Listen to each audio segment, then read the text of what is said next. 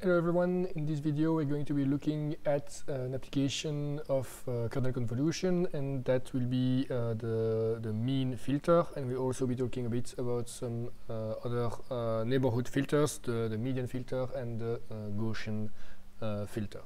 So um, let's go to the, to the notebook um, and I've loaded the, the working.jpg image. So what is the uh, mean uh, filter? Well, the mean filter is um, a, a, convolutional filter where the, uh, the, the, the, kern, the goal of the kernel is to um, take the, uh, the mean value of a uh, neighborhood. Uh, so replace the center pixel of a neighborhood by the mean value of the pixel, pixels surrounding it. So how can we build a kernel um, to, to, to do that?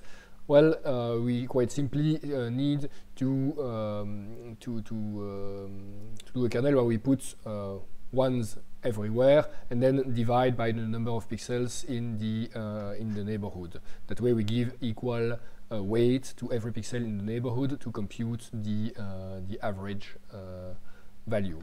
So let's quickly create sorry, the kernel. let's pick a kernel size. Let's put it at 5 the moment. Um, and I can say that my kernel will be uh, created, so I use the uh, numpy helper function uh, ones to, uh, to create a kernel filled with the value 1. Um, I will give it a size of kernel size uh, and then I can divide by the sum and if I print the kernel I will have a kernel with um, the same value everywhere and where the sum will be equal to uh, 1.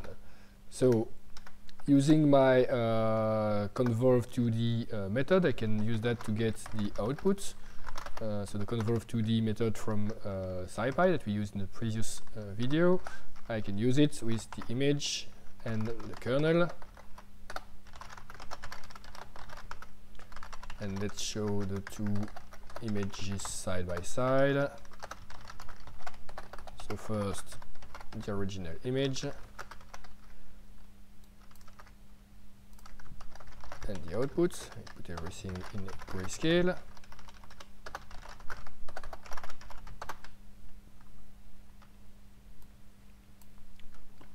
and I can see that the uh, result I have is an image that is slightly uh, blurred. And if I uh, change the uh, kernel size I can have uh, an effect that it's that is uh, a lot more visible. So everything is blurry. And if I do a smaller size I will have the the effect at a much smaller scale. So this is fairly normal and if I go really uh, to extreme cases I will start completely losing all the details of the uh, of the image.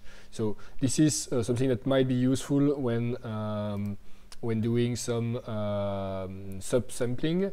Uh, so if I want to reduce the size of, of, uh, of an image with uh, subsampling so let's say here that I want to take only every fifth pixel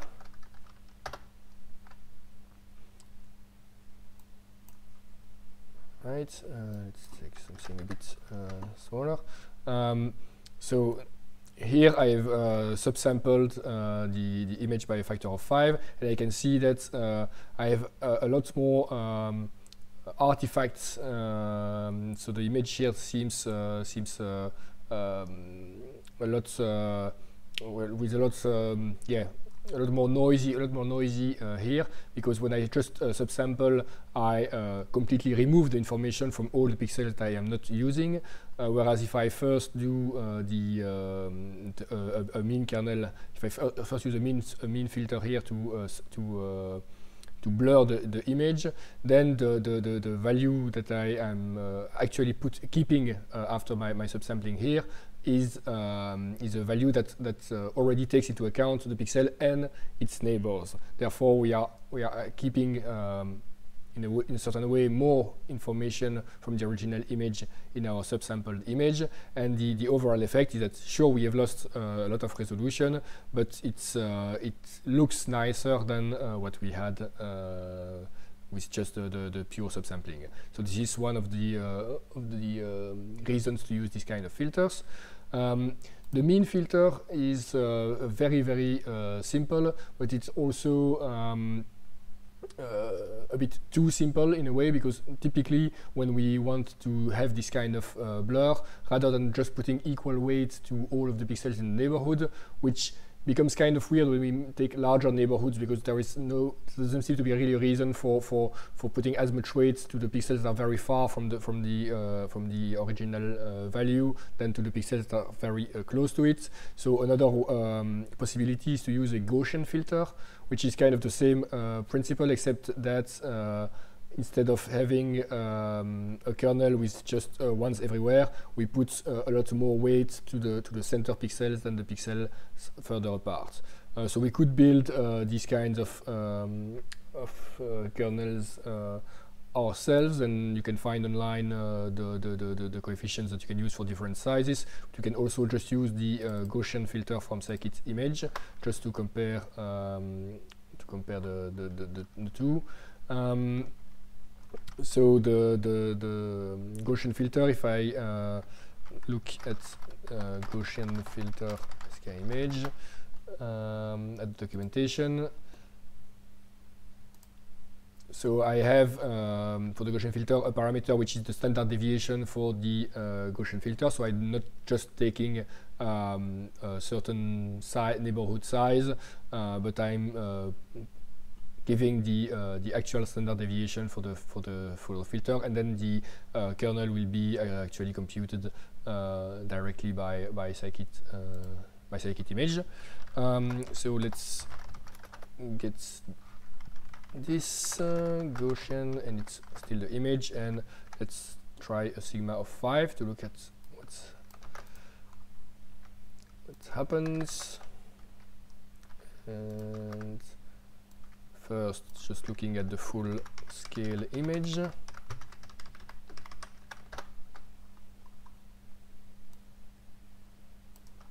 So the result is uh, still uh, a blurred image, but normally here the, the I should have um, something that is uh, actually uh, uh, a little bit smoother than, than uh, what I had here, with less of a risk of having a kind of blocky effect from having a straight um, square neighborhoods, um, something that is uh, no, that, that will tend to, to work uh, better, especially with uh, larger uh, kernels. So with a, with a very small um, standard deviation, the result will be almost exactly the same as with uh, the, uh, the mean filter. But if I take larger, um, larger values for the standard deviation, um, I would have so I will have something that is uh, that looks a lot nicer with the uh, Gaussian filter. I can also, of course, um, do the uh, subsampling here to see the effects on a subsampled image, uh, and I will actually compare with the the one with the mean filter, which will be a bit better. Um, so of course I don't have a direct, uh, I cannot have a direct comparison between the uh, the size of the uh, of the kernel that I used here and the uh, and the sigma, but I can try to to make it kind of as blurry uh, in both. Uh, and I can see that the, the result is not super different with one and the other, but I will typically have something that is a bit nicer with the with the Gaussian um, filter. I think here I'm a bit more blurry actually but it's kind of the same, uh, the same general idea. Um, another um, filter that is slightly different uh, is the median filter. So we are still looking at the idea of, uh, of neighborhood, but this time instead of trying to take the, um, the mean uh, value in the neighborhood, we want to take the uh, median value of a neighborhood. So this cannot be done with simple uh, kernel convolution. this is um, a slightly more complex operation because now what we need to do is well to find the median um, in, in a neighborhood, we would normally have to uh, sort all the value in the neighborhood and pick the, uh, the one in the, in the middle. So of course we can use um, some uh, NumPy um, methods to do that. And we can uh, also use directly the median filter from scikit-image, which let's quickly um, first code it, uh, code it ourselves. So if we have a certain uh, neighborhood size, we can um, we can do our double loop in uh, both dimension uh, to, to go through every pixel. Of course, making, making sure that we are not taking the edges into account. Same in the x dimension. And um, here we uh, will have to take, so if we take uh, our region, our neighborhood, it will be uh, the y minus k size over 2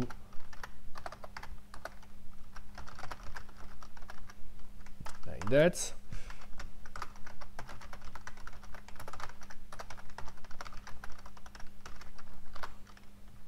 So this will be my region and what I want is actually uh, the uh, median value over that region. And I want to put that in my output. So this will be out 3 now. So now I can first prepare my output to be uh, the same shape as the uh, original image but with filled with zeros and this should work. So let's print that.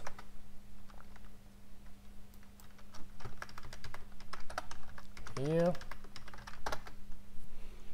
Uh, what did I do wrong? Ah, this is, should be a column.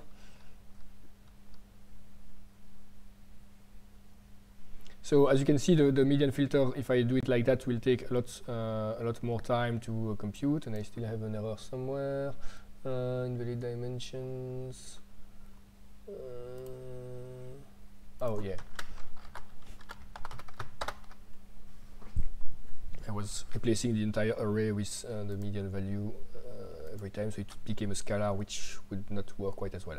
Um, so um, the operation, of course, takes a lot longer than just uh, finding the, um, the, the, the mean, so it takes a lot more time here. It will be uh, a lot uh, faster when using the um, the built-in method from scikit-image, but this is just to, to, to, to really show what's, what's happening. And so we can see that the, the effect is a lot different uh, from the uh, mean filter. So let's take actually the same kernel size. So it was 15. Uh, so it will take a bit uh, even longer, but uh, that way we can really compare the two um, more easily. Um, and the, the, the, the idea here is really that the um, I'm still using the same the same neighborhood to have the value, but by, by using the, the, the median, I will have an effect that is not quite uh, blurry as with the mean, the mean filter. I am still losing a lot of details, um, but the, the really important thing is that I am preserving the, uh, the borders with the median filters. Because with the median filter, if, I'm, if I start with a, a pixel that is some some, somewhere inside of the, um, of the window, for instance, uh, as long as the majority of the pixels in the neighborhoods are within that window, the value that I will have uh, as an output will still be um, black or almost uh, black in this in this case.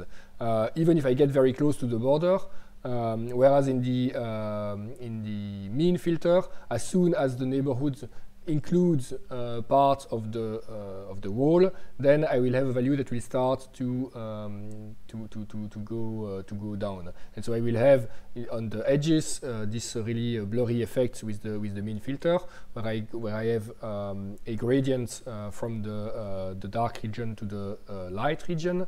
Um, but in the median filter, I don't have that uh, at all. Uh, instead, I have a border that remains uh, completely uh, sharp, even when using very large neighborhoods like I've done uh, in here.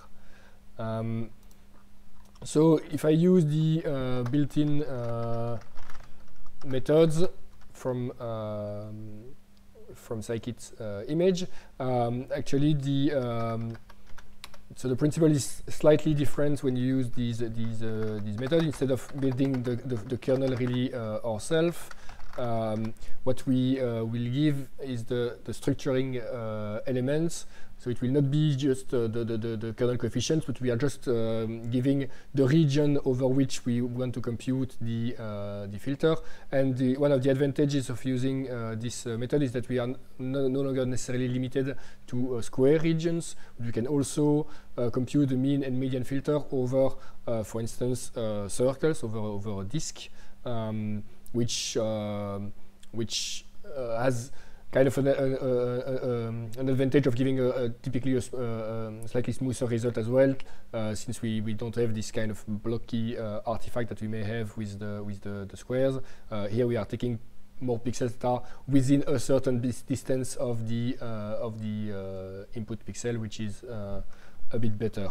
Um, so if I use the mean filter, it will be uh, in, and then I can give the structuring element. So I could take, for instance, a disk with a radius of 5 and do the same for the median. And